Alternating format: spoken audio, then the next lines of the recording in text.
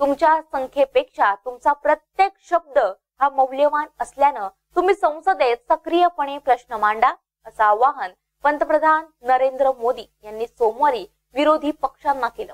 लोकसभा निवडणुकीनंतर संसदेच्या पावसाळी अधिवेशनाच्या पहिल्याच दिवशी पंतप्रधान मोदी यांनी सर्व खासदारांना सभागृहात निष्पक्षपणे राहण्याचं आणि व्यापक देशहिताचे प्रश्न मांडण्याचं आवाहन संसदेबाहेर माध्यमांशी बोलताना केले.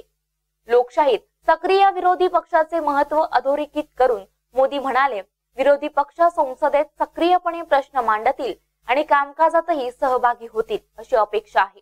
अधिवेशन जास्तीत जास्त यशस्वी होईल अशी आशाही मोदींनी व्यक्त केली. कई दशकों के बाद एक सरकार को दोबारा पूर्ण बहुमत के साथ और पहले से अधिक सीटों के साथ जनता जनार्दन ने सेवा करने का अवसर दिया है।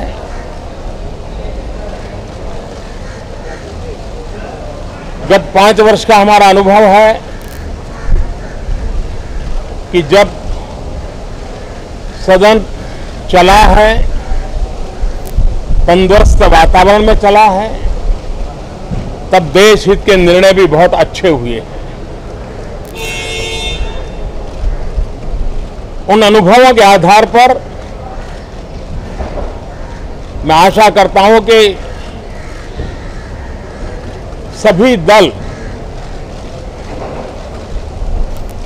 बहुत ही उत्तम प्रकार की चर्चा, जनहित के फैसले उन जन आकांक्षाओं को पूर्ति की दिशा में हम आगे बढ़ रहे हैं, उसका विश्वास।